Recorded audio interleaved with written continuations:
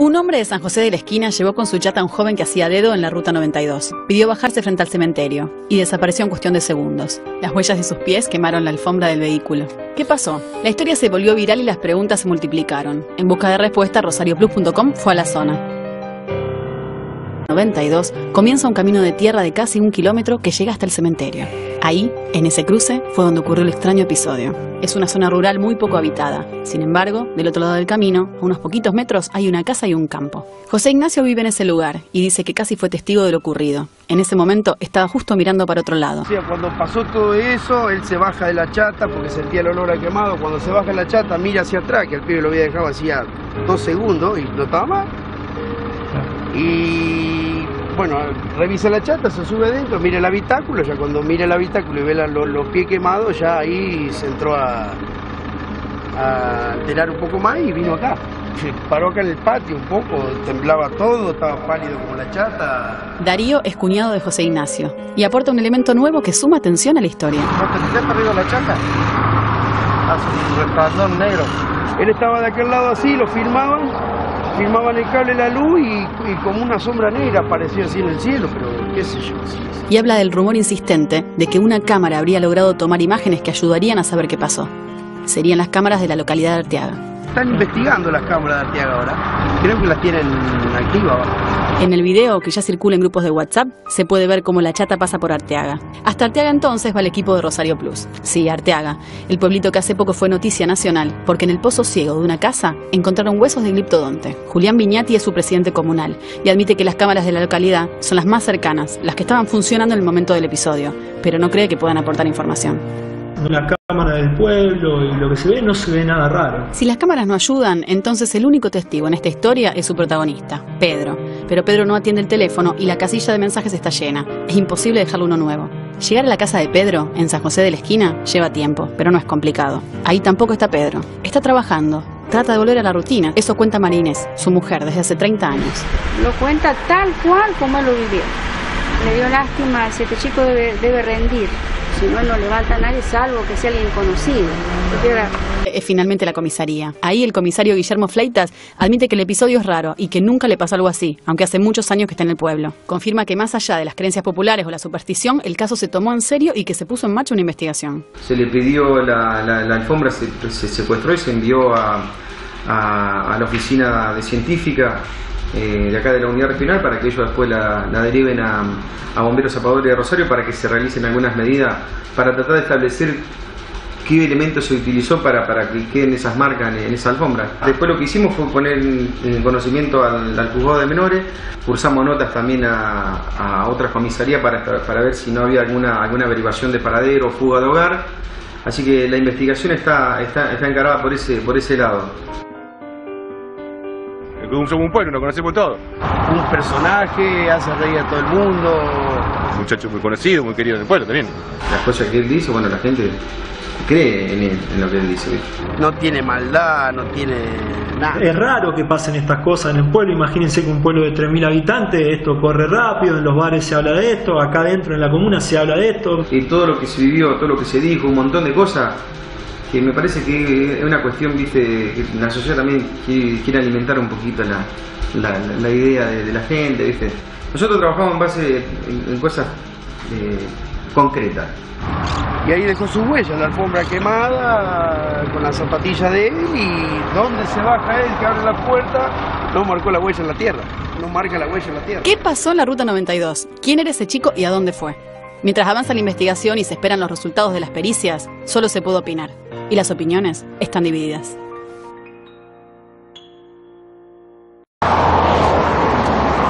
Pedro Peironi, Pedrito, conocido de San José de la Esquina, se dedica a perforaciones, a hacer trabajo de aguada, de pozo. ¿Qué te pasó esta mañana, el lunes 26 de febrero? Traje un tipo de Arteaga. Me pidió que lo bajara acá en el cruce. ¿Vos venías de Arteaga? ¿Saliste de Arteaga? Yo salí de Arteaga en la curva enderezando para San José, un pibe de 17 años con vestidura parecida o igual a, los que van a la escuela industrial. Este, me hace dedo, paro, lo cargo. Vinimos charlando algo, me pide, le pregunto si se bajaba en San José, me dice que no. Me dice que no, que me decía dónde se iba a bajar, me pidió que, que lo bajara en el cruce, el cruce era este, el cruce... Este es el cruce del cementerio, para, para un lado está el, acceso al cementerio y para el otro lado hay una casa, que es donde vive el, sacerdote, un padre Nardi. Nardi. Eh, bueno, inmediatamente que se baja él de la camioneta siento un olor a quemado espantoso. Como yo ya vengo medio, medio asustado con los autos que se me queman, me largué de la camioneta a ver si había, si se estaba quemando algún cable, eso estaba todo perfecto.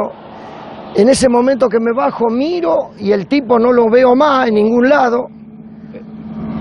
Este, empecé a revisar el, interior de la chata para ver si había un desperfecto en el tablero o algo y me encuentro con la, con la alfombra de la, de la camioneta, la alfombra de goma que está derretida de la forma de los pies del tipo. Y entonces miro eh, en la tierra, miro para ver eh, para dónde se fue esta persona y no hay rastro de que se haya bajado de la camioneta, no se ven pisadas, no se ven nada. O sea, como que nadie se bajó de la camioneta. Y de ahí, bueno, salí con la camioneta, di la vuelta para ver si veía algo más, no vi nada. Y me encontré con los chicos de, de Arzuaga, estuvimos mirando, obviamente que no estaba muy tranquilo yo. Entonces miramos y ellos me pidieron que vaya a la policía, fui a la policía, radiqué la denuncia y después hablé con el Omar, que acá estamos en el lugar que, que sucedió esto. Pedro, eh, ¿y vos no, no hablaste de ningún dato de la persona, de este chico? ¿No llevaba libros, nada? No, no llevaba libro, no. Eh, yo justamente lo levanto por ese motivo, creyendo que era este, alguien que venía a rendir eso y resulta Claro. que después me, le pregunté si estudiaba, me dijo que no. Si iba a San José, me dijo que no, que ya me iba a decir dónde se bajaba. Y bueno, después vinimos conversando, eh, ah, que era de Arteaga, no le pregunté el apellido porque realmente venía yo con medio ligero que me tenía que ir a Rosario y venía con Sí. preparando las cosas y, y no, no le prestaba mucha atención, va, lo traía como una persona normal y no sé lo que miércoles traje arriba de la camioneta, va. Y bueno, nos estuvimos viendo ahí la alfombra y es como que desde la suela de lo que él tenía puesto quemó la alfombra, la quemó la alfombra, La quemó, sí, la alfombra. la quemó, la derritió. La derritió, sí. Supuestamente. De ahí salía el olor. Si él derritió eso, él en, en el calzado debería tener mucho. eh, Mucha irradiación, algo. Claro, eh, Algo, no sé qué habrá tenido, va. Pero es como una marca que dejó, como para, para que sepa que, que alguien raro venía ahí arriba, no sé, no entiendo. ¿Y a quién le tocó? A Pedrito.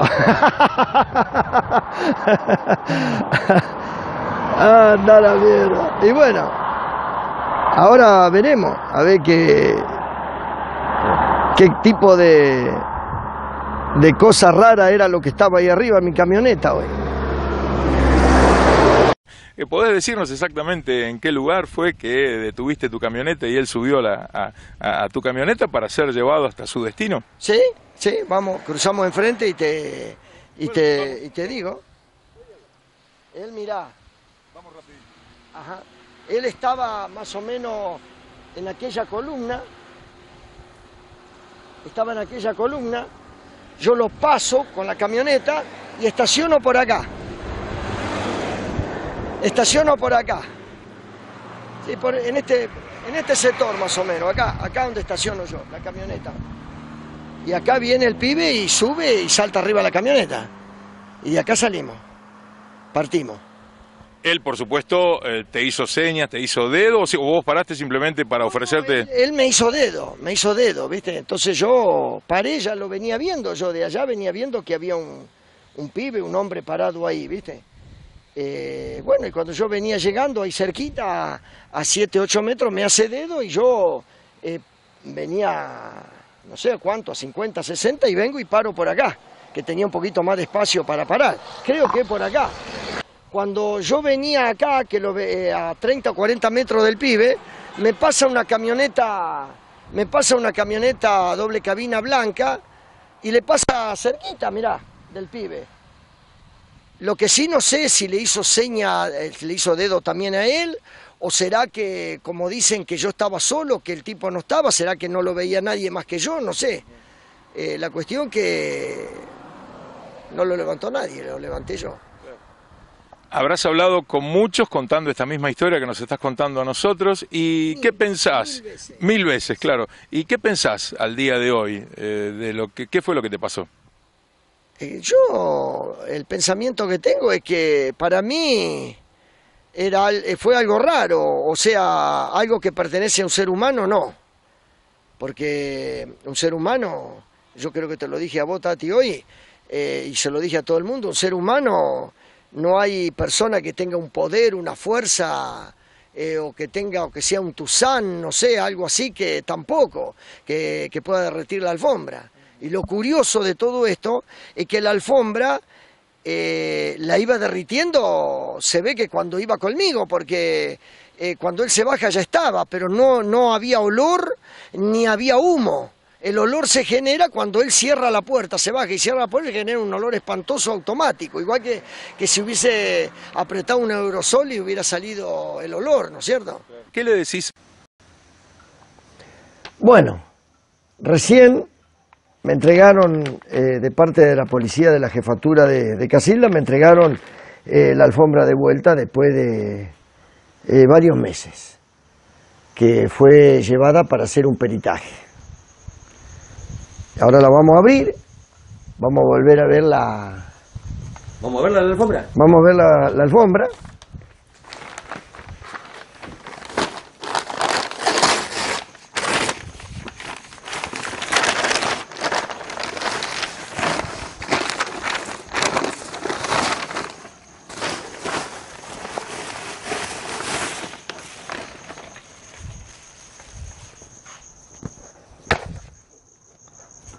Bueno, acá está la alfombra. Están las dos marcas. Acá están las dos marcas de los pies. Eh, eh, bueno, está el peritaje. ¿Qué dijeron sobre el peritaje?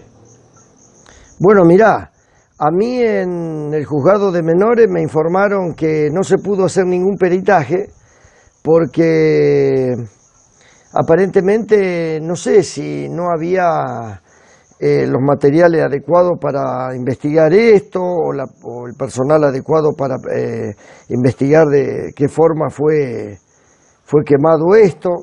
Eh, pero la cuestión que no tengo peritaje de, de la alfombra. No hay ninguna, ninguna información que me diga a mí si esto fue quemado por, digamos, por este, alguna, alguna reacción, algo de la persona que yo llevé arriba, no sé. Pero, y. Bueno, ¿y qué vamos a hacer? ¿Qué vas a hacer con la alfombra? Esta la voy a guardar. La voy a guardar, es, una, es la alfombra de la camioneta. Este, la voy a guardar como recuerdo, como una de la, como una joyita de lo que me pasó el 26 de febrero.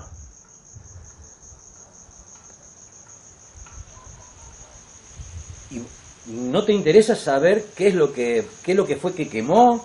Eh, ¿Vos pensás hacer alguna otra investigación privada, por ejemplo, eh, que alguien la, la quiera examinar eh, o que se sepa que alguien realice un estudio? No, no, no me interesa tanto saber eh, cómo fue, si fue por alguna, este, por qué fue quemada, va, cómo, cómo hizo este ser que traje arriba para quemar esto.